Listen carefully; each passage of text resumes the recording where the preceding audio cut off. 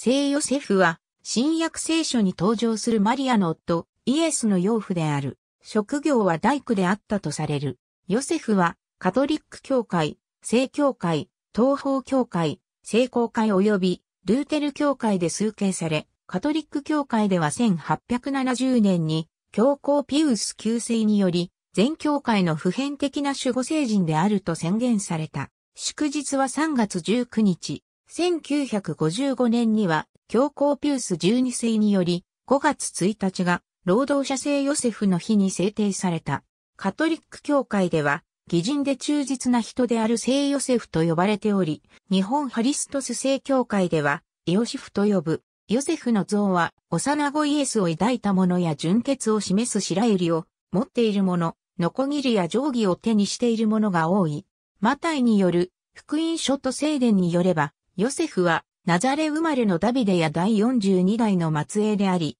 父はヤコブという人物である。ルカによる福音書に見られる家系図ではヨセフの父はエリという名前であるとされる。ヨセフは5人兄弟の末っ子で、兄弟の中で一番信心深かった。マリアとヨセフの婚約はエルサレムの大司祭の命によるものである。マリアは両親の死後、大司祭の貢献のもとで神への奉仕を捧げていた。ヨセフは締結の誓いを立てていたので困惑したが、神の望みだということを悟り、マリアと婚約した。ヨセフは、義シー人であったと、マタイは言う。彼は婚約者のマリアが妊娠していることを知ると、立法に忠実な義人であれば、マリアをフィー貫通として世間に公表した上で、離縁するところだが、そうせず密かに縁を切ろうとした。が、マタイでは夢に現れた天使の受胎告知によって、マリアと結婚した。マタイ及びルカではマリアは精霊によって身ごもったとあるため、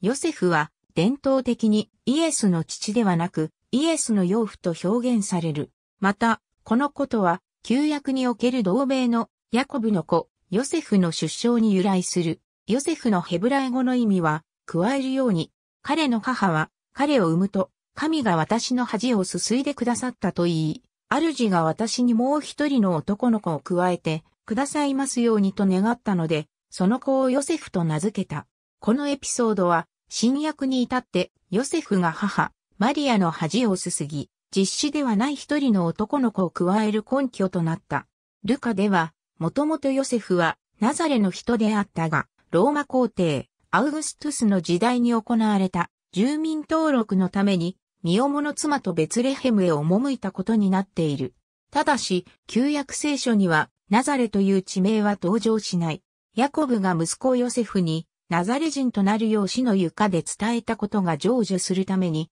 新約聖書の時代に至ってナザレに向かったのである。マタイによれば、イエスがユダヤのベツレヘムで生まれた後、ヘロデ大王によって幼児殺害の命令が出たため、天使の警告に従って、ヨセフは妻と子を連れてエジプトに避難する。ヘロデ大王の死後、夢に現れた天使のお告げに従い、エジプトから戻ってくるが、ヘロデ大王の子、アルケラオスが治めるユダヤを避け、同じヘロデの息子でもまだマシなアンティパスが治めるガリラヤのナザレに行き、そこで暮らした。福音書の記述には、マリアとヨセフの子として、イエスの他に、ヤコブ、ヨセフ、ユダ、シモンの4人と2人の女子が挙げられているが、カトリックでは、アラム語の慣用から追い、名だったとする説が主流である。これらの人物がヨセフの子だとする場合も、母が誰かについては議論があり、伝統的に東方教会では、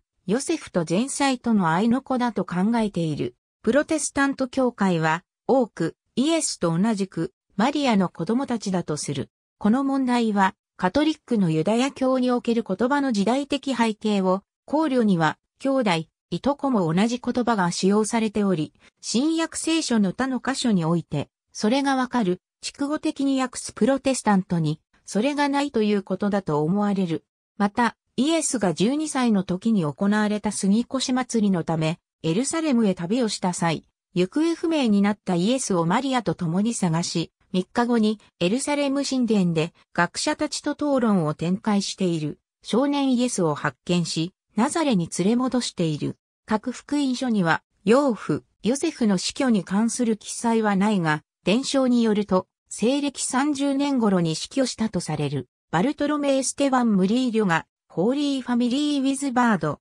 聖ヨセフの正式な信心の最初の記録は800年に遡る。初期の教会では殉教者のみが数形されていたため、ヨセフは重要視されていなかった。救い主の守護者、教育者としてのヨセフへの言及は9世紀に現れ始め14世紀まで成長し続けた。トマス・アクイナスは、マリアが結婚していなかったなら、ユダヤ人が彼女を異種打ちしたであろう。そしてイエスが人間の父親の世話と保護を必要としたという受肉の計画におけるヨセフの存在の必要性について議論した。15世紀にはシエナのベルナルディーノ、ピエール・ダリー、ジャン・ジェルソンが主要な措置を講じた。ジェルソンは聖ヨセフに関する考察を書き、コンスタンツ公会議でヨセフに関する説教を行った。1889年、教皇レオ13世は教会が直面している課題を考慮して、